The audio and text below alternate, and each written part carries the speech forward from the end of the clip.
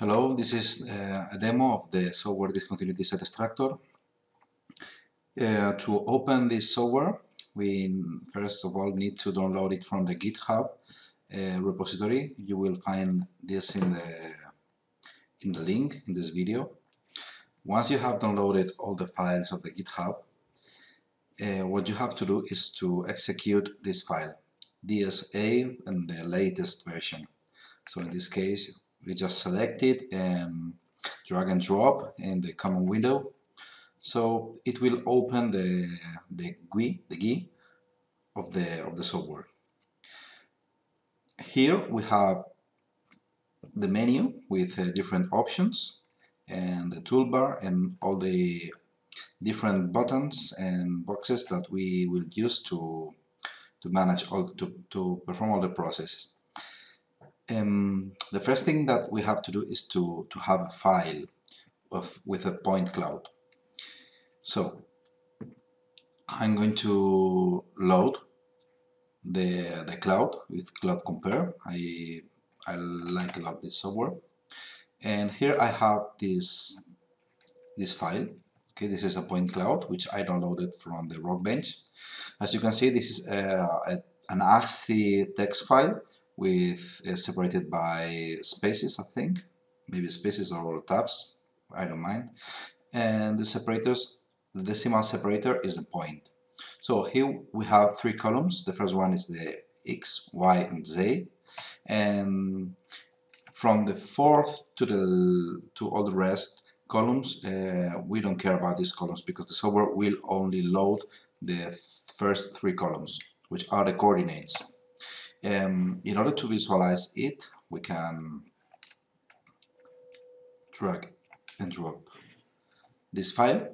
Okay, Cloud Compare will show us automatically the meaning of the different columns X, Y, Z, and this is the intensity of the LiDAR. We accept it, and then we can visualize what we are going to analyze. Okay, in this case, I'm going to select the gray, the gray, to increase the size point. And this is a section, a sector of a tunnel. And we can see different discontinuity sets as we are moving this and rotating this point cloud.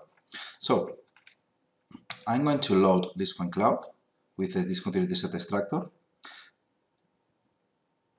I can load it in two different ways. The first one is loading the 3D point cloud and the other one is file load data point txt. So I always use the toolbar icon and I go to the desktop. Uh, where's the desktop? Escritorio. DSE demo and I load it. So now the point cloud is loaded. I can see here in the action log that the point cloud has been loaded it's close to 320,000 points. And the first thing that we can do that we have to do is to calculate the normal vectors. So we have two options. When we, if we calculate the normal vector performing a coplanarity test we must use the first option the first button. And if we are pretty sure that all the points are coplanar and we don't need to perform the coplanarity test, we can press the second button. This is the number of neighbors that the software will use to calculate the normal vector for each point. So if we select it to 30, which is a default value, it works pretty fine. It will uh, search the 30 nearest neighbors and it will calculate the normal vector of that set of points. And the tolerance is a parameter in order to determine if the those points, that certain points, is coplanar or not. So the first thing that we do is to set up the planes. In this case, I am going to um, perform the coplanarity test. And now we just need to wait because this might take a long time depending on our computer. Okay, I, pa I paused the video and this just finished it took uh, 255 seconds and now the point all the point cloud has been analyzed by the software and this button has been enabled, the stereo poles. If we press it, it will uh, show us all the poles of the normal vectors for each point. So we can see that here we have an enormous, such as a uh, very um, dense uh, point cloud, stereo, stereo net of, of poles, and we cannot see anything because we have one pole per point. So what we have to do now is to uh, make a statistical analysis. This uh, statistical analysis is done through the kernel density estimation uh, algorithm, which determines a, a non-parametric density function. The, the number of bins, uh, we can leave it to 64, you can vary it and see what will happen. And when we perform the statistical analysis, it enables another button, which is the poles density. And we can see now how different can we observe the poles. These are all the poles, but this is just the density function of the of those poles. So here we can see where the poles are concentrated. So we can see that here we have the a very dense pole here. This is the J1, J2, J3, J4,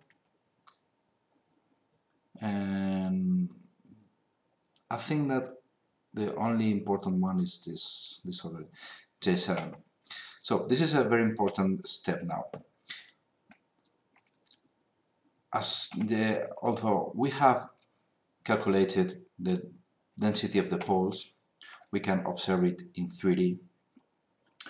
What we want is to detect and locate the peaks, the maximum value of the density function. And in that coordinate, it will be located the information of the principal pole, which is the orientation of the discontinuity set.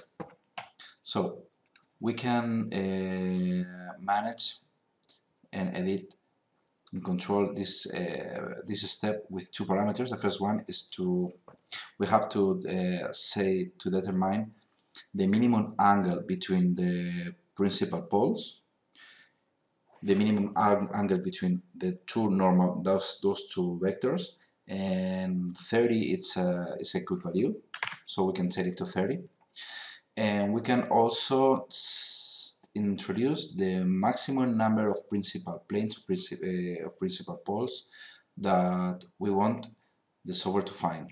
So I just modify this and now results are different as you can see.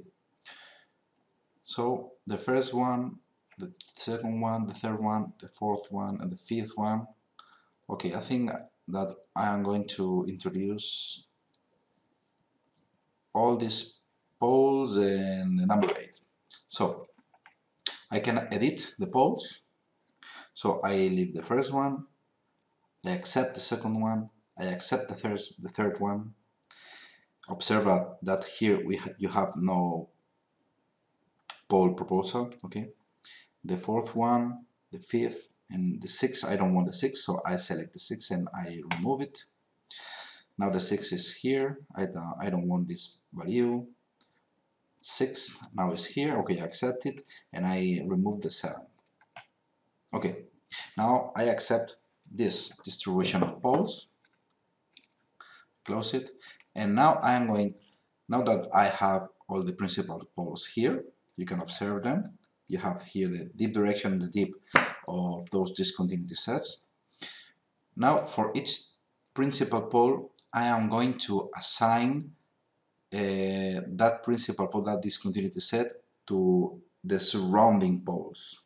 Okay, so the minimum angle between the principal pole and a pole to be assigned to that one uh, is set to 30. You can modify it, but 30 is a is a good value. So now you can see that this button has been enabled okay and you can compare these two let's open also this one. Now we have all the poles here. You cannot see anything. This is the density function that we finally accepted. Okay, you can also visualize it in 3D. You can make it bigger if you want.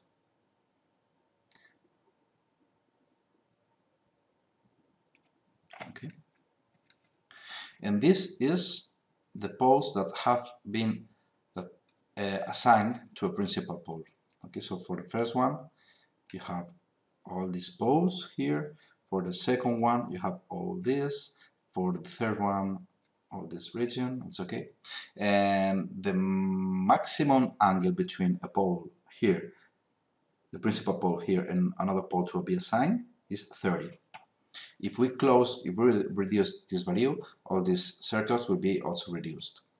Okay, so now we can close this, and now um, we are going to inspect that preliminary result. So if you press this button, it will generate us this uh, this file. Okay, let's update. Okay, it is I'm going to open, and here we have the coordinates, the original coordinates of the points, and we can see that we have four more columns. The first one is the the, the first three columns mean uh, a color which is red, green, blue and the last one is the corresponding joint set.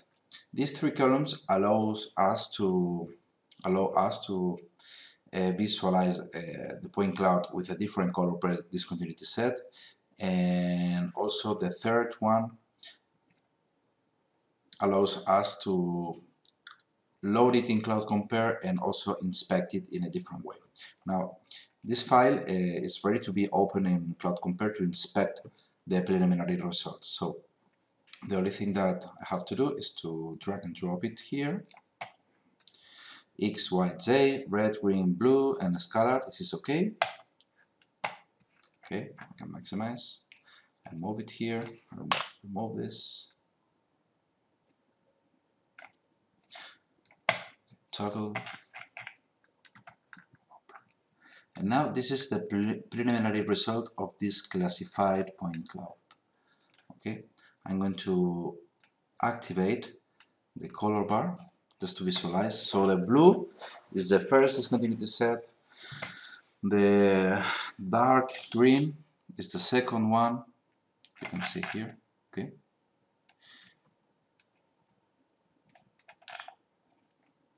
Light green is the third one, yellow is the fourth, and the red is the fifth. Okay, so just see that rotating this point cloud, you can see that okay, all the points which have the same color are members of a planar surface and all of them are almost parallel. So these are the discontinuity sets. So if we accept this, now again we can do uh, another another step, which is very interesting. Now, see this point cloud, and let's extract the first discontinuity set, which are the uh, the blue one. So I can see that all the points with the scalar field number one are members of the first discontinuity set. And now I select this and I can extract the points with the scalar 1 export you see and now I just have the points of the first discontinuity set. But now we can do another more step which is to make the, a cluster analysis. This cluster analysis will uh, analyze the full point cloud We'll separate it in different discontinuity sets and for each discontinuity set we'll find all the points member of the same cluster. And it will enable another analysis which is the spacing and the persistence and also the roughness and waviness. Now let's continue with the discontinuity set extractor. And now I'm going to make the cluster analysis and here we have two options the first one is to fix the discontinuity set or extension and this is another parameter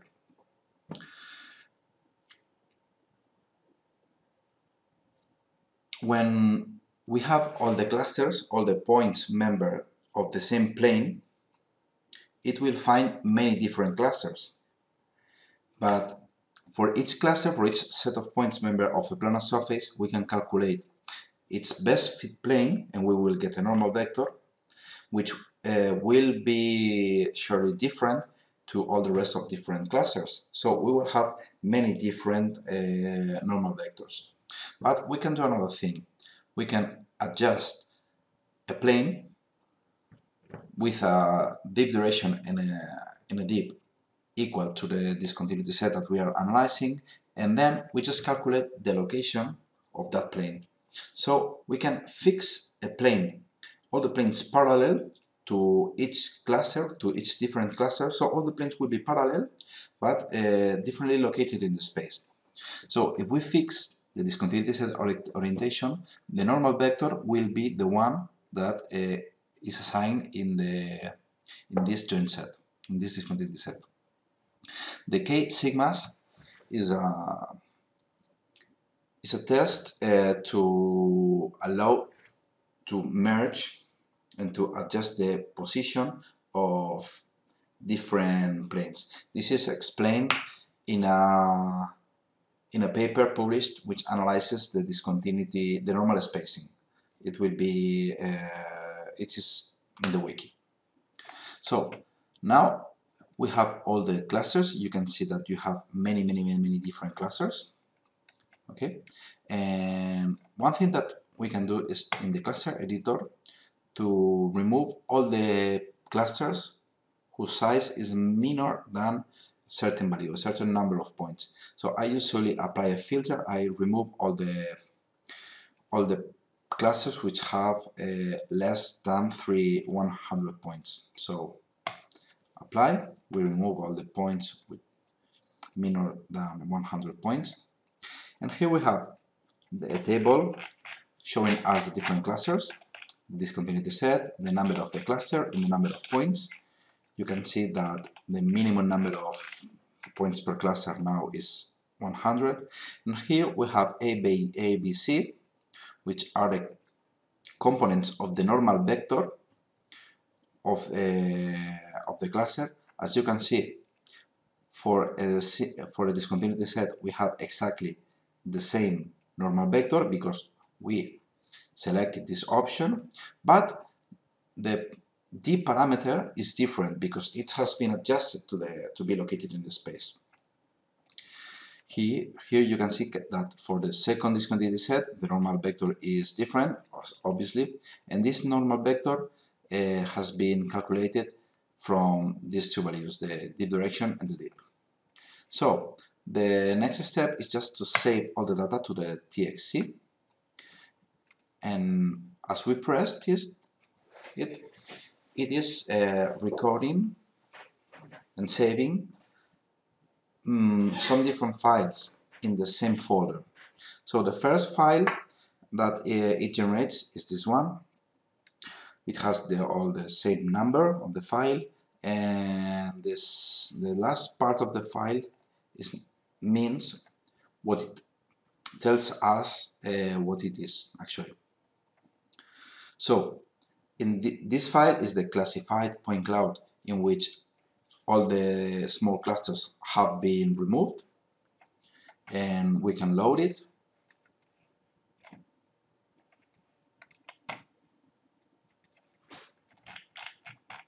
Okay. This is the previous classified point cloud without removing the small clusters as you can see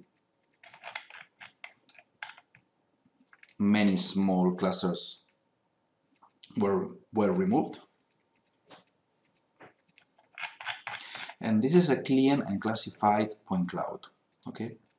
But now this is very interesting because in this we have six more files which are, which are the joint set number 1, 2, 3, 4, 5, and 6, and all the different classes for each one. So we can load them in Cloud Compare. We select them all.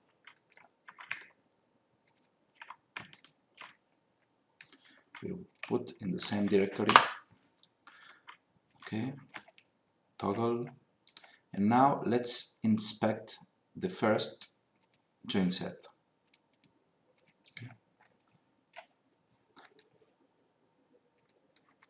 This is the discontinuity set number one with all the different clusters. One cluster, one color per cluster. This is the second one. Okay. In order to visualize it properly, I'm going to overlap, uh, make a superposition with this, with the original point cloud, and I'm going to increase the size of the point.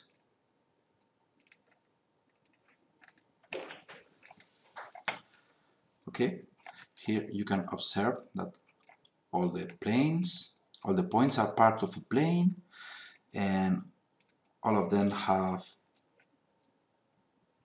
more or less the same direction okay because this is a statistical method and we can do this for the, all the different discontinuity sets. Okay. Now let's see this file. This is the most important file. Xyz j c and a b c and d. Here what we have is the x, y, z, the joint set of this point, the cluster of this joint set, okay, the number of cluster which it belongs, and the a, b, and c, which are the normal vector, and the d, the coordinates of the plane, okay, because this is for a for this equation. A plane is defined by ax plus by plus cz plus d equal to 0. So a, b, c, and d are the, core, are the parameters of that plane. So with these four values, now we know to which plane it depends, it, uh, it belongs. Now let's load this file. x, y, z. This is the scalar value because this is the joint set. This another one is the cluster, so it is a scalar. And this is the normal. Now let's ignore this value because we don't. Now for this purpose it doesn't matter. Ignore, ignore, ignore. And this is also scalar. So the coordinates number of the first scalar is the joint set, the second one is the cluster, and the third one is the d parameter, which tells us the location, the position in the space. So okay, let's apply it. And now let's observe this. Now we are just uh, observing the, the color tells us the first scalar which was the joint set. So let's extract the all the points members of the first joint set we select it, we press here from 1 to 1.5, export, okay. Now we are viewing all the points members of the first joint set, but now let's change the scalar field. If we see the scalar field number 2, okay, we have exactly done this other point cloud, okay, but now we can see, we can select the parameter d. This is very interesting now. Scalar field number three, okay. And now let's show the scale bar. So this is a really interesting analysis now. I'm going to saturate this a lot. Okay, now as you can see here, you, we have one, two, three, and four clusters. Those four clusters belong to a plane. Let's load the cloud and increase this point size, okay, to four. Those one, two, three, four clusters belong to different planes which are separated in the space. We know that they have exactly the same normal vector and actually I'm going to just estimate that normal vector with this tool. No, I don't have this tool now. Okay.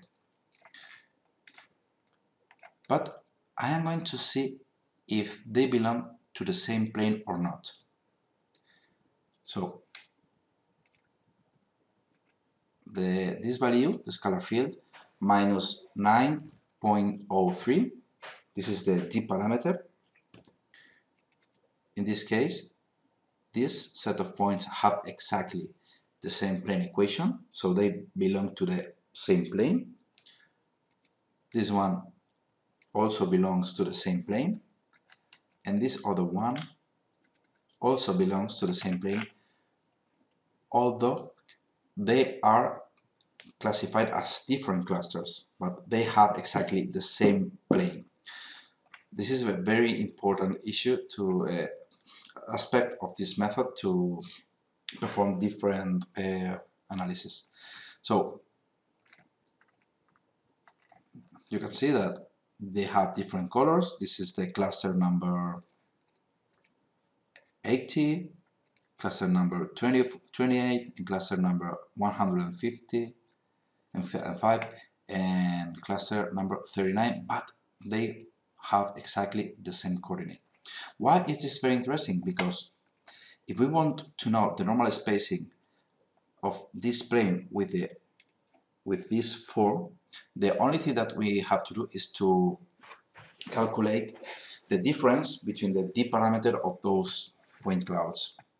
So I'm going to select scalar field number 3 and this value mine 9 close to 9 and close to 9.3 so the normal distance between this point and this point should be close to 0.3 so let's calculate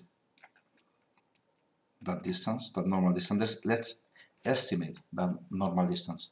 So I select uh, the distance tool this point and this other point it then it's close to 0.3 so now we can also calculate the normal spacing of a point cloud.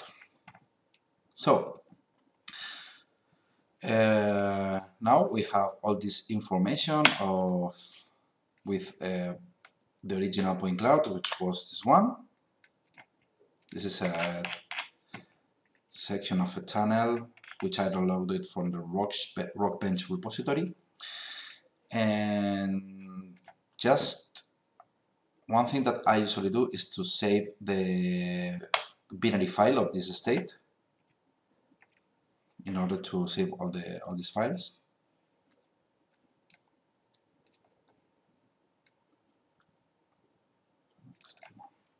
Rockbench number three. Okay and the last step once we uh, we have calculated everything with the discontinuous extractor is to save this state because we can uh, recover all this state of calculation and for instance modify the number of principal poles or close the cone or modify the number of clusters or the, the, the, the, number of points per clusters and, and everything. So just to save this state and not uh, you select this icon, you click on this icon, save the state, and we insert the name.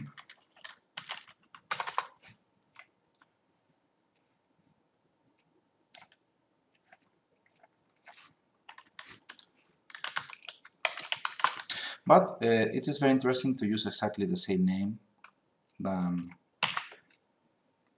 the file. So I'm going to put exactly the name file okay?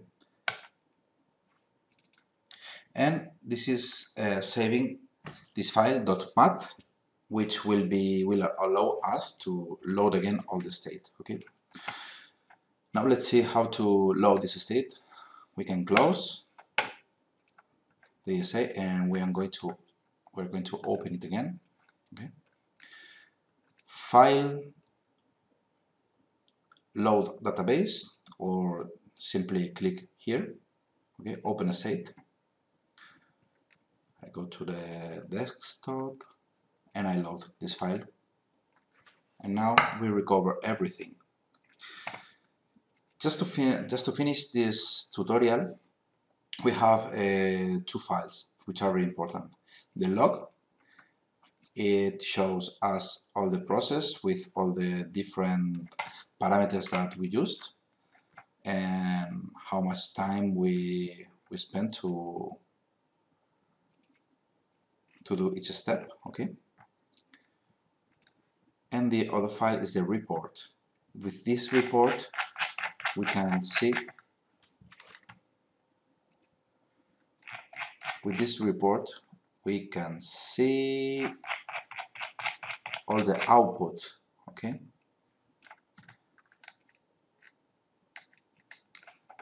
the use parameters the number of initial points the number of final points the number of discontinuity sets their orientations and for each discontinuity set and for each cluster the number of points and their plane equation.